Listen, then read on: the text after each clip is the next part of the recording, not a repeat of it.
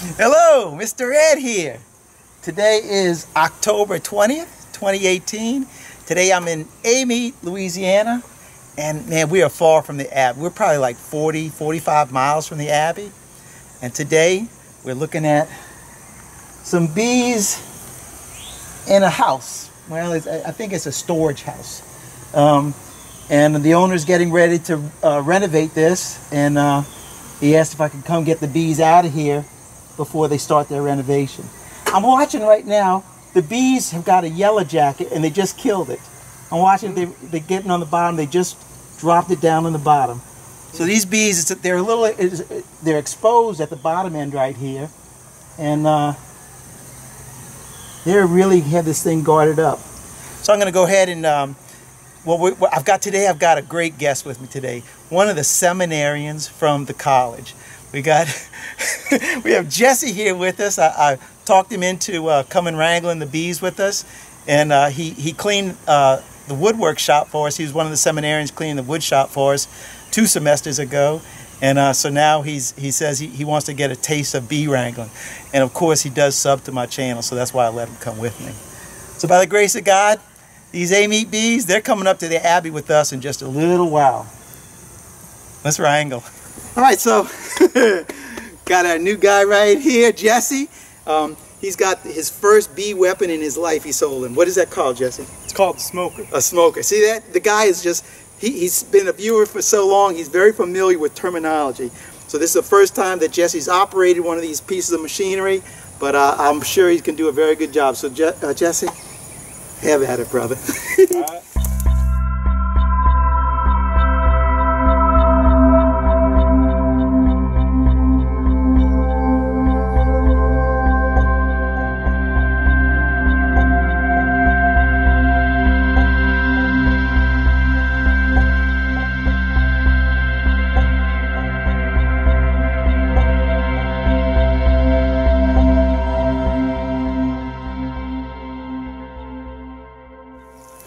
that. Those son of guns.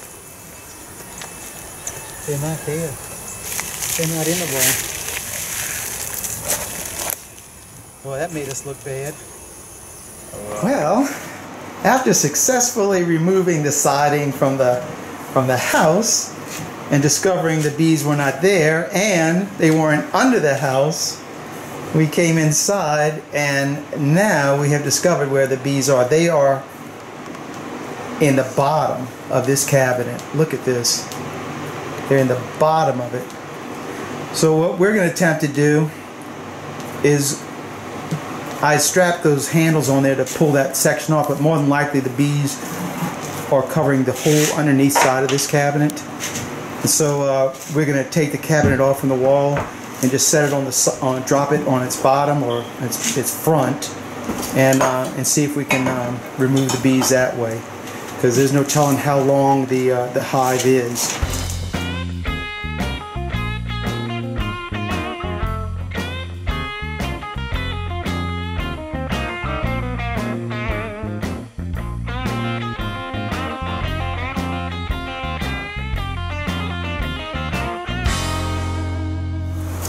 Well, we've removed that part of it right there, and, and so you can see where the comb is is at this part right here, and underneath the cabinet. Look at this underneath the cabinet. So this may be the whole hive right here, but I'm still suspecting that there's comb underneath this section as well. So we're going to start our vacuum and vacuum these little girls up right here and uh, start cutting out this comb and moving this out of the way and then moving on.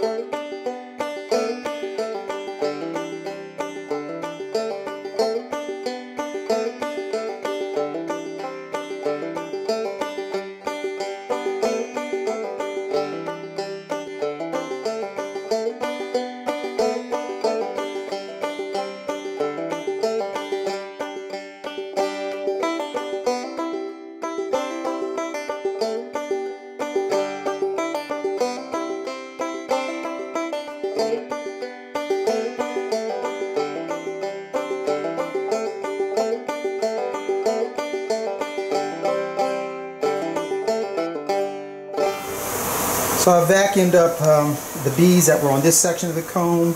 Man, lots of hive beetles up in there, lots of them. Um, and now I'm going to turn my attention to really the main part of the hive. This is beneath the bottom of the cabinet. And you can see there's only about three inches of space underneath there. And uh, they've got that thing just packed. There's no telling how far back that comb goes. I'm sure it goes the whole way. And look at the number of bees on this. This is a lot of bees, folks. So Jesse, he's uh, doing the camera work here for us. So if it doesn't look good, blame it on him, not me. now I'm going to see if I can lift this up. I, I may not, it may be too heavy for me.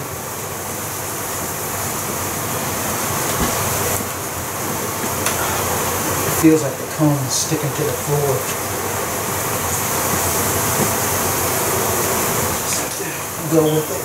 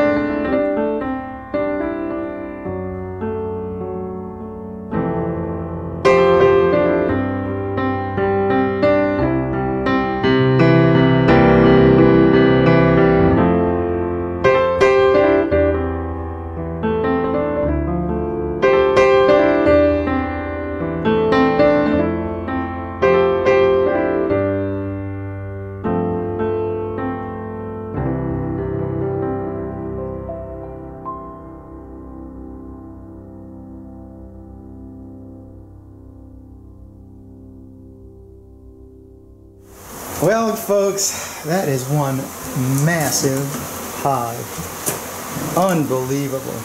What I was doing for the last 20 minutes is vacuuming the bees uh, down off the floor. You can see the entrance to the hive right where that daylight is coming through, right there.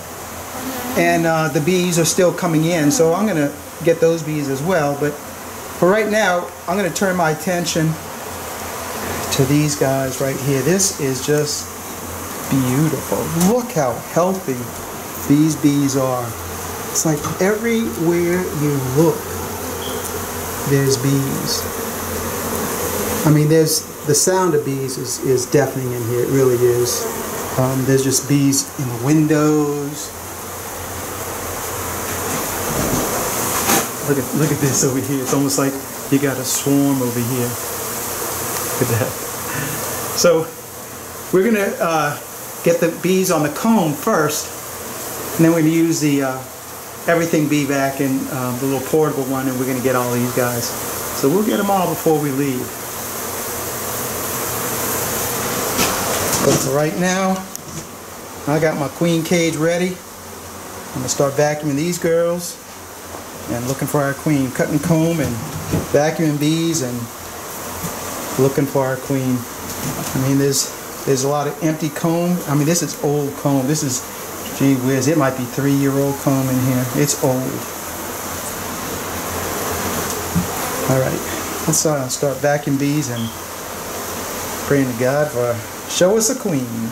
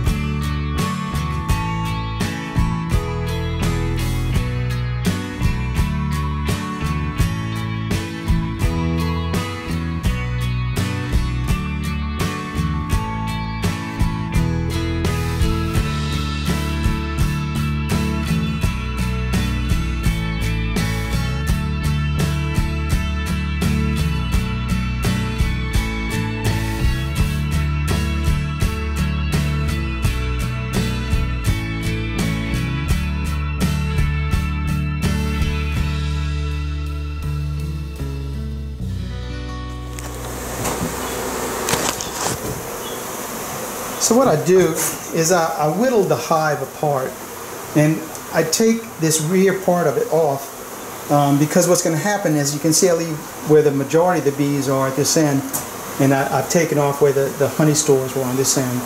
And I do this so that when I start vacuuming and removing these bees here, they're going to run away from where I'm vacuuming. So they're going to run out to this area right here. And when they get out into this open area, if the queen is out in there, I can spot her uh, a lot easier in the open like this um, as opposed to on the comb. And as well as this overhang, the bees will just go ahead and start gathering underneath there. And uh, at that point, I can just grab handfuls of them and vacuum and look for the queen at that point. So I'm running out of camera, battery on my camera because this is taking so long. Um, so I'm going to go ahead and, and uh, vacuum these girls up and uh, see uh, see if we can get our queen in this thing.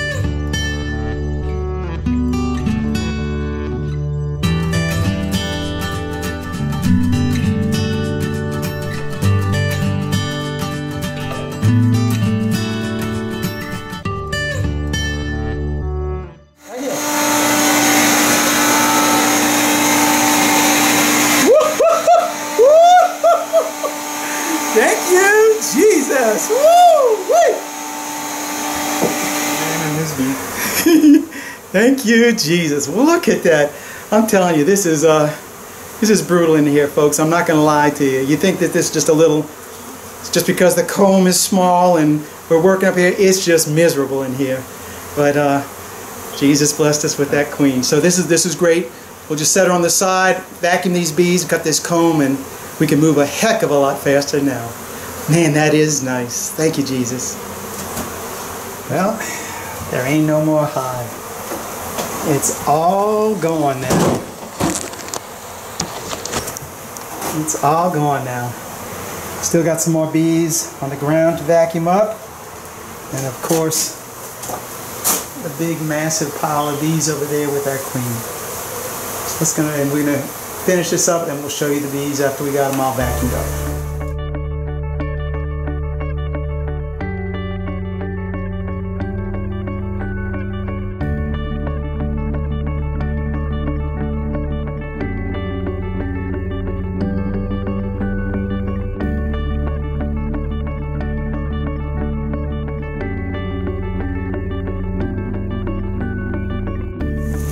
Well, folks, I am not going to lie to you.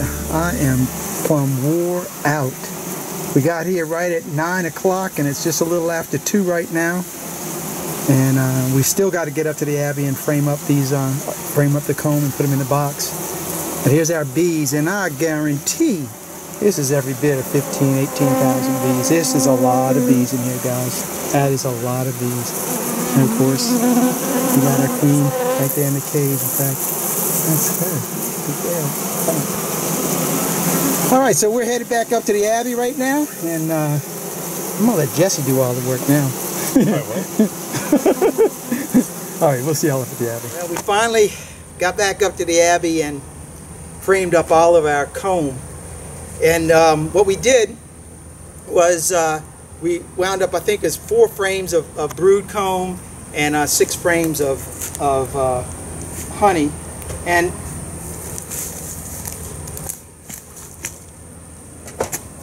because that comb was, was uh, so shallow, we were able to um, double up and then to, to make our uh, frame up. So I, I want to work kind of fast because there's, there's raw honey up in here, spilled honey, and it's gonna the robbing will start. So I just want to kind of show you kind of quickly um, what, what our frames look like. So this would be an example of the, um, the brood frame where we just stack them right on top. And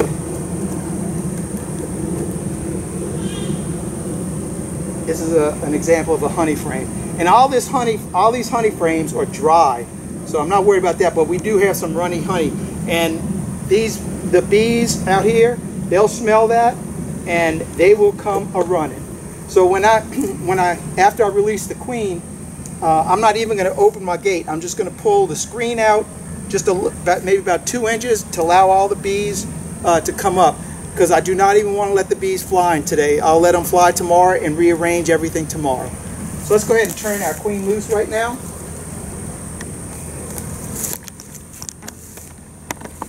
So we're going to turn it loose on one of these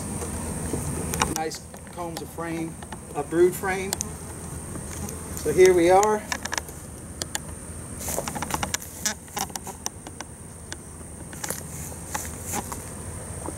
And there she is. Woohoo!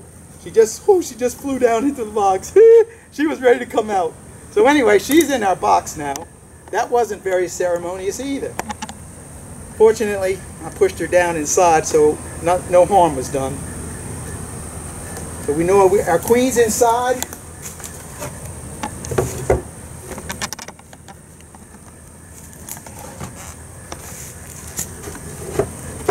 And everything is closed up now.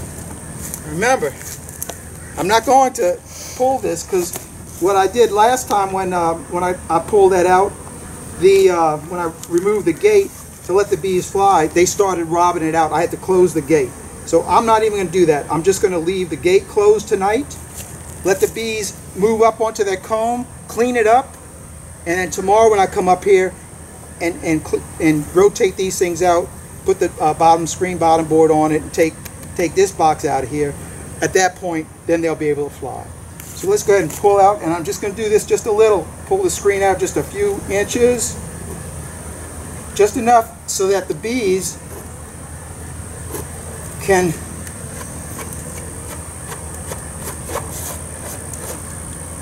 can start marching up in the back of it and then I want to keep this thing down so I, I don't get any robber bees going in. All right. I think that's all I've got for you on this one. This was a tough, tough cutout. It really was. Um, but it all worked out pretty good. So I really got to thank my, my, my seminarian buddy Jamie for coming with me on today, doing the video, helping do all the cutout, moving all the equipment. Big help. Thank you, Jamie.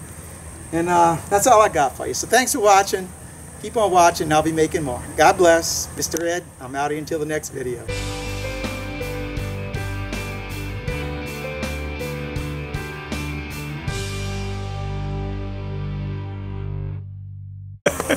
Uh, quick note, I don't know who this Jamie person is, but my name is Jesse. yeah, uh, that's how tired I am. I can't even remember the guy's name. I was like, whoa, whoa, if I'm going to be on YouTube, you know, I can't let this Jamie person take credit for, for all. Thank you, brother. Thank you. Right. Hey, Mr. Ed, yeah. I mean, we've been asking Siri, like, for directions, and how to get here. Yeah, we were a little bit far from the end. Um, I was thinking maybe you should ask Siri where the queen is, because Siri knows everything, don't you think? no, I don't think she's that good. but you know, it doesn't hurt to ask, huh? That's right. Either Siri or Jesus, one of them's gonna let us know where the bees are. I'm, I'm gonna put my hope on Jesus. Alright, well ask Jesus then, Siri. Alright, let's find us a queen to vacuum some bees.